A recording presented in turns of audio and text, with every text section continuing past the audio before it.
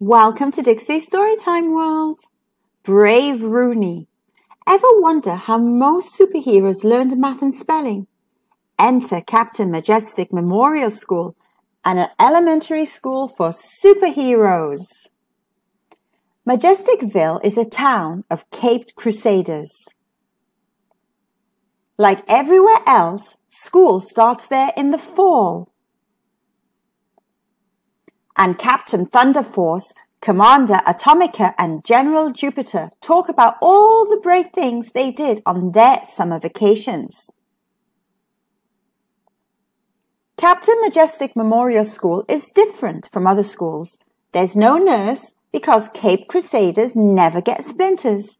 They never get bruised knees and they never get the chicken pox. And most of the school lockers are lined with lead so nobody can use their X-ray laser vision to see through them. This fall, a new kid showed up at school. Rooney. Not Captain Rooney or Commander Rooney, just plain old Rooney. Rooney lived on the exact spot where Majesticville met Normalville. This year it was decided he'd go to school in Majesticville. Rooney wanted to fit in at school and try to take part in all of the brave activities. But he sprained his ankles, he bruised his knees, he even got the chicken pox. So Captain Majestic Memorial School was forced to get a nurse. At Monday's assembly, Principal Peterson had some big news to announce. He proudly said, in honor of National Poetry Week, Miss Morecambe has decided every student will recite an original poem in front of the school. Everybody was terrified, except Rooney. Captain Thunderforce, Captain Atomica, and General Jupiter were the most terrified of all. On the day of the poetry recital, Captain Thunderforce overslept. Commander Atomica had a kryptonite allergy attack. And General Jupiter rushed to the dentist. At school, nobody was brave enough to read their poem first.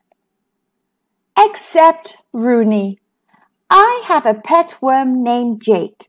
Sometimes he thinks he's a snake. I don't know why, cause he wouldn't eat a fly. And if he did, he'd get a big stomachache. Everyone was amazed. How did Rooney do that? Did you see that? Did you see that? The entire school appreciated just how brave Rooney was. They realized he had a superpower no one else at Captain Majestic Memorial School had. He even became captain of the biology club. And Captain Thunderforce Commander Atomica and General Jupiter became his special friends. For a minute, Rooney felt like he could do anything. Well, almost anything. The end. Thank you for listening. Don't forget to like the video and subscribe so you don't miss another story again. Bye for now, kids.